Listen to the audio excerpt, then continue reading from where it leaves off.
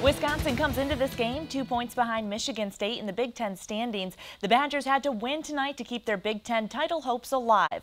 Wisconsin and Michigan State in game one of two from the Kohl Center. Game tied at one in the second period. A rare miscue from the Badgers leads to a breakaway goal from Michigan State. Jeremy Davidson scores.